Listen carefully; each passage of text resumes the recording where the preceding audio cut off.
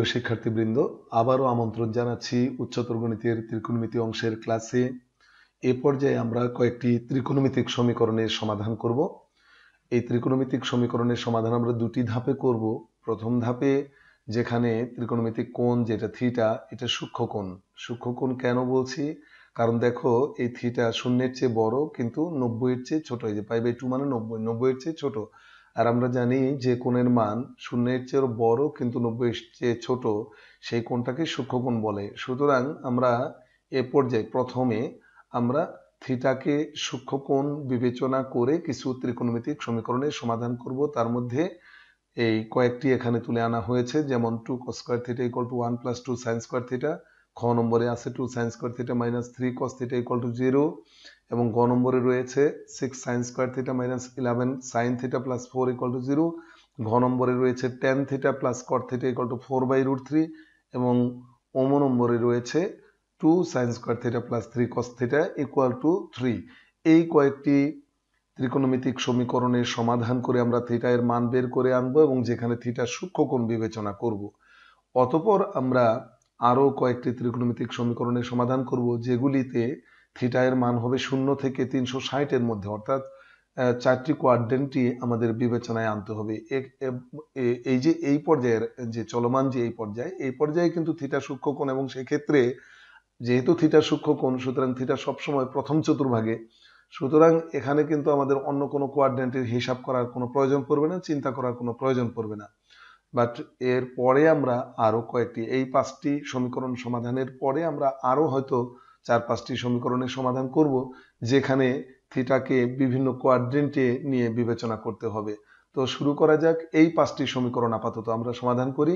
তো প্রথমেই ক নম্বর two cos square theta equal to one plus two sine square theta তো এটা যদি আমরা সমাধান করি আমরা দেখতে পাচ্ছি যে এখানে দুই ধরনের ত্রিকোণমিতিক অনুপাত রয়েছে। একটা হলো কজ আর একটা হলো সাইন এবং দুইটাতেই স্কোয়ার রয়েছে। আমরা ইচ্ছে করলে কস স্কোয়ারকে লিখতে পারি one minus sine square theta অথবা সাইন স্কোয়ার থিটাকে লিখতে পারি one minus cos square theta তবে দুইটাকেই কিন্তু ভাঙানো যাবে না। কেন? যদি আমরা যে কোনো একটা ভাঙাই, তাহলে দেখো সবই একই অনুপাতে আনবে, আসবে। যে কোনো একটা যদি আমরা ভাঙাই, যে কোনো একটি, সেটা কস স্কোয়ার থিটাকে আমরা যদি one minus sine square theta লিখি, তাহলে কস স্কোয়ার থিটা আর থাকল না সাইন স্কোয়ার থিটা আসলো।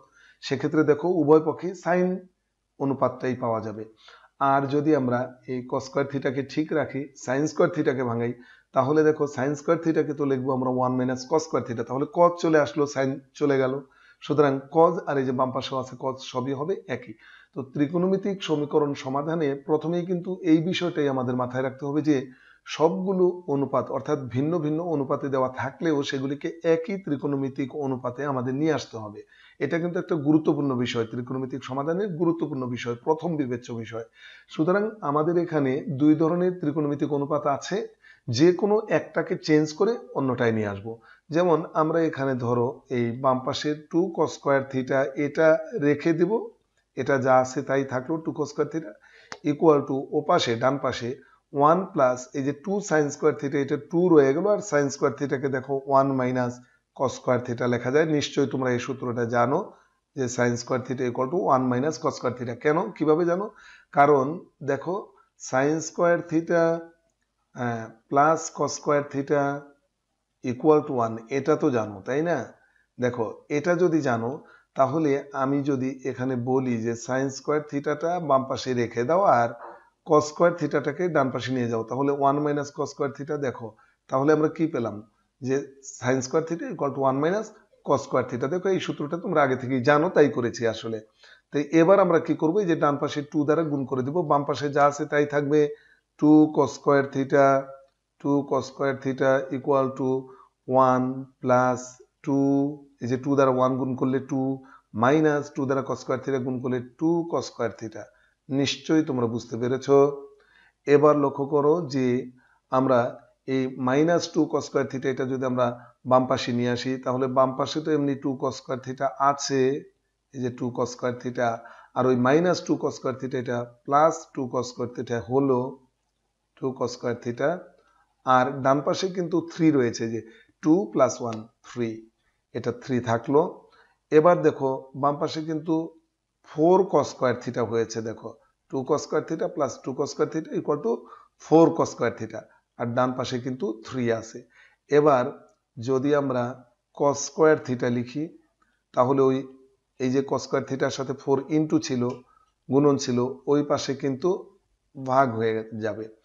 আর আমাদের কস স্কোয়ার থিটা থেকে আমাদের নিয়ে আসতে হবে কস থিটা সেখান থেকে থিটা আনতে হবে। তো কস স্কোয়ার থিটা থেকে কস থিটা আমরা কীভাবে পেতে পারি? বর্গমূল করে, তাই না? নিশ্চয়ই এটা বোঝো। সুতরাং এ পাশে যদি আমরা বর্গমূল করি, তাহলে প্লাস মাইনাস তো ব্যবহার করতেই হবে। আর থ্রি এর বর্গমূল রুট থ্রি আর ফোর এর বর্গমূল হবে টু সুতরাং আমরা পেয়ে গেছি cos theta equal to plus minus root three by two এখন প্রশ্ন হলো, যেহেতু থিটার সূক্ষ্মকোণ, কাজেই কস থিটার মান কিন্তু ঋণাত্মক আসতে পারে না। কস থিটার মান ঋণাত্মক আসলেই কিন্তু সেটা স্থূলকোণ হয়ে যাবে। অর্থাৎ সেটা নব্বই ডিগ্রির চেয়ে বড় মান আসবে থিটার মান। কাজেই এখানে এই যে ঋণাত্মক মানটা আমরা নিব না। শুধু ধনাত্মক মান নিয়ে করব এবং সেটা আমরা উল্লেখ করে দেব। দেখো, আমরা সেটা এভাবে বলতে পারি যে যেহেতু থিটা সূক্ষ্মকোণ বা এভাবে লিখতে পারি আমরা তোমরা অবশ্যই নিচে করবে। আমি যে এখানে ডান পাশে দেখাচ্ছি। যেহেতু zero less than theta less than pi by two অর্থাৎ থিটা সূক্ষ্মকোণ তাই না? অতএব আমরা যে শুধু ধনাত্মক মানটা নিব মানে ঋণাত্মক মানটা গ্রহণযোগ্য না। ঋণাত্মক মান গ্রহণযোগ্য না, সেটা আমার এখানে বলার দরকার নেই, কারণ আমি যেভাবে উল্লেখ করেছি, তাতে ওইটুকুই যথেষ্ট। আমরা শুধু লিখব এখন cos theta equal to root three by two তার মানে আমরা যেটা বলতে চাই, সেটা হলো যেহেতু থিটা সূক্ষ্মকোণ সুতরাং থিটা এর ঋণাত্মক মান গ্রহণযোগ্য নয়। তোমরা ইচ্ছে করলে লিখলে লিখতে পারো, এভাবে লিখলেও চলবে। তাহলে cos theta equal to root three by two এখন যদি আমি লিখি যে থিটা ইকুয়াল টু কস কত ডিগ্রি মান রুট থ্রি কস ত্রিশ ডিগ্রি মান root three root three by two cos তিরিশ ডিগ্রি মান root three by two root three নয় রুট থ্রি বাই টু তো কস তিরিশ ডিগ্রি আমরা কীভাবে লিখতে পারি? এই যে pi by six pi by six কিন্তু থার্টি ডিগ্রি এবার দেখো কজ আর কজ উভয় পক্ষ থেকে যদি আমরা ভ্যানিশ করে দেই, তাহলে থিটা ইকুয়াল টু এই যে পাই বাই সিক্স আমরা কিন্তু পেয়ে গেছি থিটার মান। আমরা ফিনিশিং লাইনে যেটা লিখব, সেটা হলো নির্ণেয় সমাধান। আমরা লিখব নির্ণেয় সমাধান নির্ণেয় সমাধান theta equal to pi by six বাস এটাই আমাদের চূড়ান্ত লক্ষ্য থিটা এর মান বের করা। আশা করি এই অঙ্কটা তোমরা বুঝেছ। এরপরে আমরা চলো, চলে যাই খ নম্বরের অঙ্কটায়। একই ধরনের প্রায়, দেখো একই ধরনের প্রায় অঙ্কটা, কিন্তু এখানে দুই ধরনের অনুপাত রয়েছে। এর আগের অঙ্কে কিন্তু দুই ধরনের অনুপাত ছিল, কিন্তু সেখানে দুইটাতেই স্কোয়ার ছিল। এখানে কিন্তু একটাতে স্কোয়ার নাই, এই যে ক স্কোয়ার নাই কিন্তু। কাজে এটাকে কিন্তু এমনিতেই চেঞ্জ করা যাবে না। আমরা এর আগে অঙ্কে বলেছি, যে কোনোটাকে চেঞ্জ করো। কিন্তু এখানে কিন্তু যে কোনোটাকে চেঞ্জ করা যাচ্ছে না। কারণ কসকে চেঞ্জ করে আমরা সাইন আনতে পারছি না। কিন্তু সাইন স্কোয়ারকে চেঞ্জ করে আমরা কজ আনতে পারব। এই জন্যে এই যে টু রয়ে গেল সাইন স্কোয়ার থিটাকে লিখলাম one minus cos square theta okay এই যে one minus cos square theta আর এখানে minus three cos theta right এই। তাহলে দেখো, সবগুলোই কিন্তু কজ অনুপাতে চলে আসছে এখন। এবার আমরা টু দ্বারা গুণ করে দিই। Two minus two cos square theta two minus two cos square theta আর এখানে মাইনাস থ্রি কস থিটা দেখো, এবার কিন্তু অনেকটুকু সহজ হয়ে গিয়েছে। এখন স্কোয়ারওয়ালা রাশিটা আমরা আগে লিখি, সেটা কি? Minus two cos square theta স্কোয়ারওয়ালা রাশিটা আগে আমরা আগে লিখলাম। তারপরে মাইনাস থ্রি কস থিটা এটা লিখি। তারপরে আমাদের ধ্রুবক মান আছে কত? প্লাস টু সেটা সবার শেষে লিখলাম ইকুয়াল টু জিরো এবার এই যে প্রথমে যে মাইনাস আছে, এটা ভালো লাগতেছে না দেখতে। সুতরাং মাইনাস দ্বারা গুণ করে দেই, তাহলে এটা প্লাস হয়ে গেল। Plus two cos square theta হয়ে গেল মাইনাস দ্বারা গুণ করে। আর মাইনাস দ্বারা গুণ করে এই এই মাইনাসটাও প্লাস হয়ে গেল। তাহলে three cos theta plus three cos theta হলো। তাহলে তো অবশ্যই প্লাস টুটা হয়ে যাবে মাইনাস টু আর ওপাশে কিন্তু শূন্যকে মাইনাস দ্বারা গুণ করলেও শূন্যই রয়ে যাবে, তাই না? আচ্ছা এবার কিন্তু আমরা মিডল টার্ম করতে পারি। দেখো এই যে প্রান্তীয় রাশিতে এখানে আছে টু আর এখানে আছে টু এই দুটার গুণফল কত? ফোর ফোরকে ভাঙিয়ে থ্রি বানালে চার একে চার চার থেকে একবার দিয়ে দিব, তাই না? তাহলেই তিন থাকবে। তাহলে দেখো, এখানে লিখব two cos square theta plus এই যে ফোর কস থিটা এই যে চারটি কস থিটা থেকে একটা বাদ দিয়ে দেবো, এই যে একটা কস থিটা বাদ দিয়ে দেবো। তাহলে প্লাস তিনটি কস থিটা থাকবে। আর এদিকে মাইনাসে আর প্লাস এই যে মাইনাস, এই যে প্রান্তীয় রাশিদ্বয়ের গুণফলেও কিন্তু মাইনাস আছে। সুতরাং আমাদের হয়ে গেছে। আশা করি মিডল টার্ম তোমাদের বোঝাতে হবে না, তাই না? আচ্ছা ইকুয়াল টু জিরো বা এবার আমরা কি করব? টু কস্তিটা কমন নেব প্রথম দুইটি থেকে। এগুলি তো তোমরা নিশ্চয়ই খুব ভালো বোঝো। হ্যাঁ রয়ে গেল কস থিটা প্লাস এখানে টু কস্তিটা চলে গেছে, তাহলে এখানে টু থাকে। মাইনাস ওয়ান যদি নেই আমি, তাহলে এখানে থাকে কস থিটা হ্যাঁ কস থিটা কত? প্লাস টু তাই না? মাইনাস যেহেতু কমন নিয়েছি মাইনাস ওয়ান কমন নিয়েছি কাজে প্লাস টু থাকবে। এখন আমরা কি করব? এই যে cos theta plus two cos theta plus two এই কস থিটা প্লাস টু আমরা এই উৎপাদকটা আমরা আগে পেয়ে গেছি। তারপরে কি আছে? Two cos theta minus one এই যে টু কস থিটা হ্যাঁ minus one equal to zero এবার আমরা কি করব দেখো, এই দুটো উৎপাদকই কিন্তু শূন্যের সমান হতে পারে। এটাও শূন্য লিখতে পারি, এটাও শূন্য লিখতে পারি। তো আমরা লিখব যে অতএব অতএব এই যে cos theta cos theta plus two equal to শূন্য অথবা ওইটাও লিখতে, ওইটাও কিন্তু শূন্য লিখতে পারি। সেটা কোনটা? Two cos theta two cos theta minus one equal to শূন্য, এটাও লিখতে পারি। এখন আমরা যদি এই প্রথমটা বিবেচনা করি, ওইটা আমরা আলাদা করে বিবেচনা করব। এইটা যদি বিবেচনা করি, তাহলে কি আসে? Cos theta equal to minus two এটা এই যে আমি বলেছিলাম যে ঋণাত্মক মান গ্রহণযোগ্য নয় হ্যাঁ সেটা তো একটা ব্যাপার আছেই। পাশাপাশি থিটা তো সূক্ষ্ম কোণ, সেজন্যে ঋণাত্মক মান গ্রহণযোগ্য নয়। এছাড়াও আর একটা ব্যাপার আছে। কি ব্যাপার সেটা? যে কস থিটার মান কিন্তু মাইনাস ওয়ান থেকে প্লাস ওয়ানের মধ্যে সীমাবদ্ধ। মাইনাস ওয়ান থেকে প্লাস ওয়ান তার মানে সর্বনিম্ন মান মাইনাস ওয়ান আর এখানে আসছে সর্বনিম্ন মান মাইনাস টু তুমি ইচ্ছে করলে কিন্তু এই শর্তটা উল্লেখ করতে পারো। আবার আমাদের থিটা সূক্ষ্ম কোণ আছে, সেটাও উল্লেখ করতে পারো। হ্যাঁ এই যে এরকম মানে তুমি দুইটা দুইটার যে কোনো শর্ত তুমি উল্লেখ করতে পারো।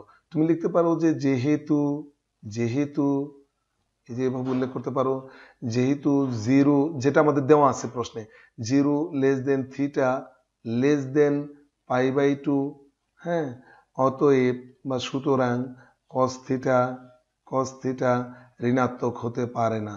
হ্যাঁ ঋণাত্মক হতে পারে না। এটা লিখতে পারো অথবা এই এই যুক্তিটা যেমন দিতে পারো, তেমনি তুমি এই যুক্তিটাও দিতে পারো যে মাইনাস ওয়ান যেহেতু লেখে, যেহেতু minus one less than cos theta less than plus one less than or equal কিন্তু লেস দেন অর ইকুয়াল হ্যাঁ মনে রাখবে অর ইকুয়াল আছে এখানে লেস দেন ইকুয়াল ইকুয়ালের ব্যাপারও।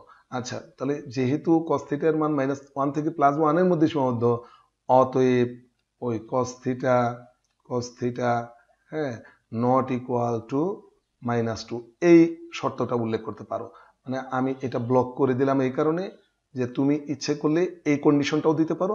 আবার আমাদের এই যে যেটা উল্লেখ করা আছে প্রশ্নে যে থিটার মান হতে হবে সূক্ষ্মগুণ, সেইটার আলোকেও কিন্তু এটা গ্রহণযোগ্য নয়। দুইটার যে কোনোটা উল্লেখ করতে পারো। আর এখন আমরা ডান পাশেরটা করি। দেখো, ডান পাশেরটা করলে এখানে two cos theta two cos theta equal to one বা হ্যাঁ কস থিটা ইকুয়াল টু কি হবে তাহলে? কস থিটা ইকুয়াল টু হবে হাফ লক্ষ্য করো। আর থিটা ইকুয়াল টু কি হবে সেটা আমরা আর একটু পরে লিখব। এই যে cos theta equal to cos কত ডিগ্রির মান হাফ আমরা জানি কস ষাট ডিগ্রির মান হাফ এগুলো কিন্তু জানা থাকতে হবে ইনস্ট্যান্ট ব্রেন থেকে আসতে হবে অবশ্যই। কস ষাট ডিগ্রিকে লেখে কস পাই বাই থ্রি এভাবে, তাই না? নিশ্চয়ই জানো। ইতিমধ্যে এগুলো আলোচনা হয়েছে অনেক আগেই। আচ্ছা তাহলে কজ উভয় পাশ থেকে বাদ দিলে theta equal to pi by three এখন এই যে theta equal to pi by three এটাই তো আমাদের চূড়ান্ত লক্ষ্য।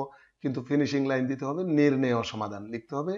নির্ণয় সমাধান, নির্ণেয় সমাধান theta equal to pi by three theta equal to pi by three ব্যাস, এ পর্যন্তই।